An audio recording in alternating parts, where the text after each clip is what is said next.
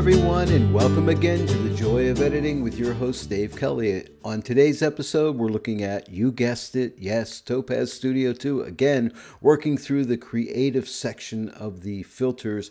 Today, we're looking at film grain.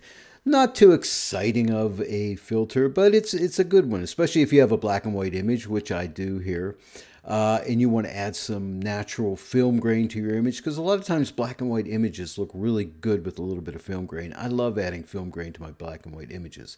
So let's go ahead and get started on this one. This one won't be too long today. And away we go. We're coming up to add filter, giving this a mouse click, left mouse click, coming down to the creative section and coming to Mr. Film Grain right here, Film Grain. Give that a click and that opens up the Film Grain filter.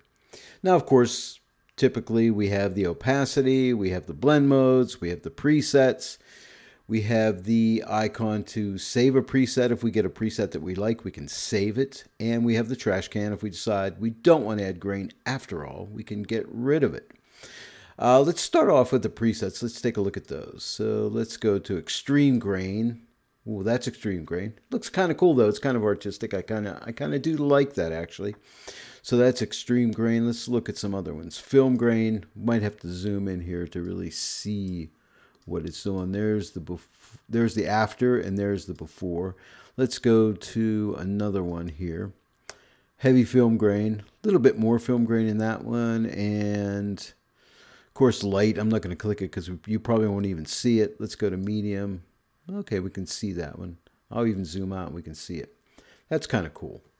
I do like adding film grain to my black and white images because I think it gives them a nice authentic black and white film type look and I think that's really nice to do. And I do that quite often and I like to make black and white prints and I generally always add a little bit of film grain because I think that really helps sell the image as a nice photograph, you know, an authentic black and white photograph.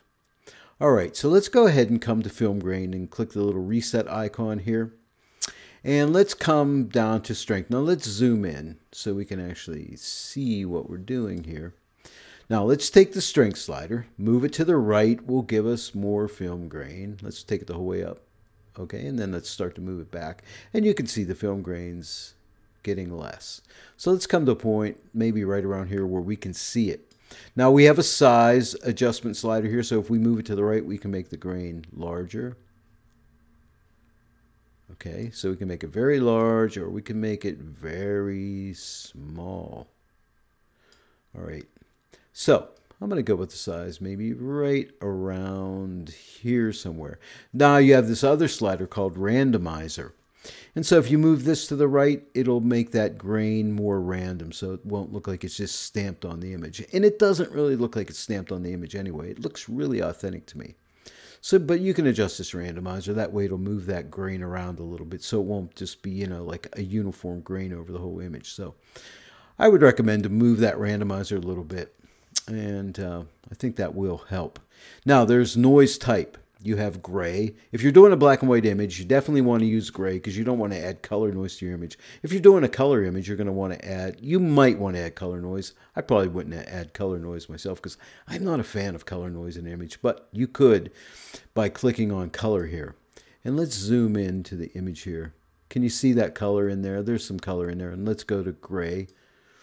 There's gray and there's color. So you can see there's some color noise in there, but I don't really recommend it on a black and white image because it will not be authentic. And uh, that is basically it. So you just add a little bit of film grain to your black and white image or color images, depending what you want. It's a nice filter and not really hard to use, but thank you Topaz for including it in your arsenal of filters with Topaz Studio 2. Well, I think this one goes down in the books as my shortest video ever. I am so proud of myself. Uh, thanks again for joining me today on this tutorial all about the film grain filter. I hope you give this one a try. It's a good, it's a very good one, especially if you want to add some authenticity to your black and white images. and even some of your color images if you want to emulate some kind of different types of film stock. Well, thank you so much for joining me on The Joy of Editing with Dave Kelly. And also, if you liked this video today, please give it a like and share it with your friends. If you're not yet a subscriber with this channel, please do so and click the bell notification icon so you can be informed of all the new training videos that I'm putting out. Well, I will see everybody here on The Joy of Editing with Dave Kelly